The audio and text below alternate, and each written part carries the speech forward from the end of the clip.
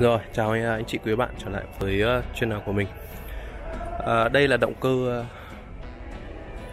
single turbo Đấy, được trang bị trên uh, Ford Everest. Phiên bản một cầu titanium số động 180 mã lực và hiện nay thì uh, với động cơ bi turbo ấy, thì uh, chúng ta mua xe 2021 sẽ yên tâm khi mà đa phần những cái lỗi như là chảy dầu trên ờ, cổng turbo này trục cam kép này cũng đã được ờ, khắc phục và hạn chế đi khá là nhiều rồi. Uh, Ford Ranger Ford Everest phiên bản titanium số động một cầu. Uh, trong trong màn ảnh của anh chị nữa uh, đây là phiên bản màu đen này. Bọn em có sẵn luôn uh, xe giao ngay và cả màu trắng này. Đấy.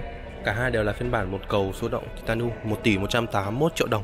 À, Trong tháng 3, cuối tháng 3 và đầu tháng 4 tới thì ờ, uh, bên em có chương trình khuyến mại dao động vào từ 65 đến 70 triệu đồng.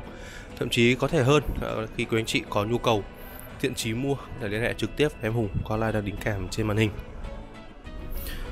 Rồi, uh, đây hai màu trắng đen này. Phiên bản cao cấp nhất by turbo ấy thì bên em cũng hỗ trợ tương đương nhé à, ờ, cũng đâu đó dao động vào khoảng 65 đến 70 triệu. À, đây là màu xanh đá cho phiên bản bi turbo hai cầu cao cấp nhất. Đấy. Rồi, chúng ta vẫn còn nguyên uh, adaptive cruise control này. Đấy, cái này là điều chỉnh khoảng cách với uh, xe phía trước khi chúng ta tham gia giao thông đặc biệt là trên đường cao tốc. Phiên bản uh, cao cấp nhất 3 turbo. Bên em nó có giá bán là 1 tỷ 399 triệu đồng và chúng ta giảm đâu đó về khoảng ngoài 1 tỷ 320, 1 tỷ 330 ấy, thì ờ, cái mức giá lăn bánh dự kiến cho các hàng ở tỉnh địa phương sẽ là khoảng suýt soát hơn 4 tỷ, 1 tỷ 450 triệu đồng nhé. à, ờ, anh chị có nhu cầu kênh chi tiết về giá lăn bánh báo giá khuyến mại thì uh, vui lòng liên hệ trực tiếp với em Hùng qua lại là đi kèm trên màn hình. Ờ, chúng ta có đây.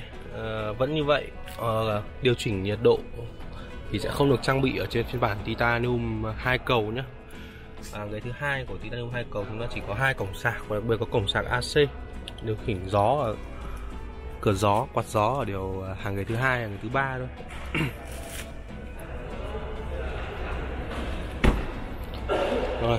Rồi hai cầu này. 4 VKD uh, 4 VKD thì uh, nó sẽ hơi khác so với A ở trên Explorer nhé tức là chúng ta có thể sử dụng xe đi với một chế độ một cầu hoặc hai cầu tùy vào theo cái địa hình và nhu cầu sử dụng. Ở Explorer thì chúng ta sử dụng là toàn bộ trong quá trình thời gian xe vận hành sẽ là vận động uh, chuyển động bốn ờ, dẫn động bốn bánh luôn. Để không truyền lực.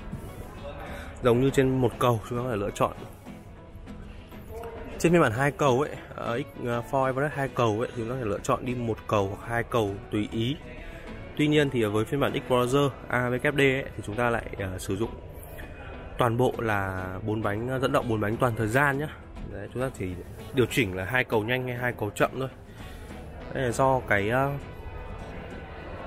điều kiện của từng vị trí địa lý và nhu cầu sử dụng. Vì Explorer là xe nhập Mỹ còn Everest là chúng ta nhập khẩu nguyên chiếc từ Thái Lan nhé. Các bạn yên tâm là trong thời gian tới thì Everest vẫn là xe nhập khẩu. Chỉ có Ranger là xe lắp ráp thôi. Đấy, giá bán nhanh của ba dòng. Nên hiện nay thì uh, Titanium là một cầu hai cầu cho em giảm 65 đến 70 triệu đồng. Ờ, uh, Ever Sport thì uh, tối đa giảm đâu đó khoảng 35 đến 45 triệu đồng. Tiền mặt và tặng kèm gói phụ kiện 10 triệu cho xe nhé.